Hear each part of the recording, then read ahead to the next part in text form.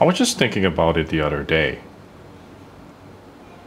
And by the way, I thought this one is pretty cool. Come, take a look. See this one. See over here.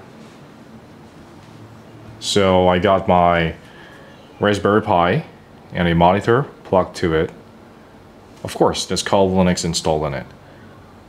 I just have to click a small little button and you see this one. Look at that. It's starting up right now. And you can see right here, it's booting. This looks so cool. I have no idea what's going on. I never really learned about this. But it makes me look like a hacker. That's what I want. That's so cool.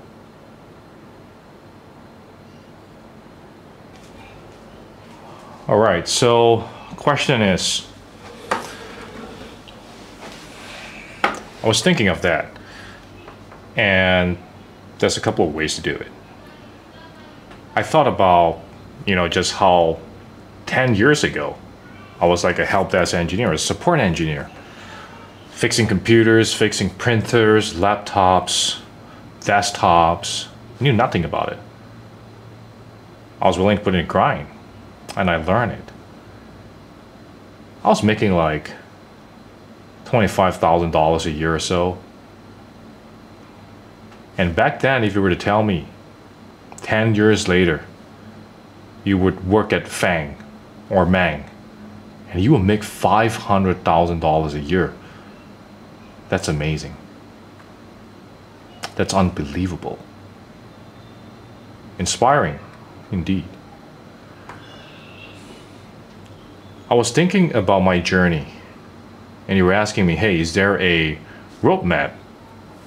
How can I break into cybersecurity? I have a step-by-step instruction for you. I was thinking of a couple of techniques to do that, that I used to break into cybersecurity. So this is the plan. There is a company you want to join. It can be Facebook or Meta or Apple or Amazon or Netflix or Google or a bank or a mid-sized company, the dream company that you want to join. Apply. Apply for any job there. Just go ahead and apply. Get in the company. That's the first step. Once you get into the company, here's what you're going to do listen carefully. Okay, this is critical. This is important. On your way to work, when you're commuting, whether you're on a train, on a bus, or maybe you're driving, make sure you subscribe to this channel. And there is a video, come, there's a video that you have to watch, which is on SQL injection structured query language injection. You have now joined the company. You have earned their trust. You have access to the HR system.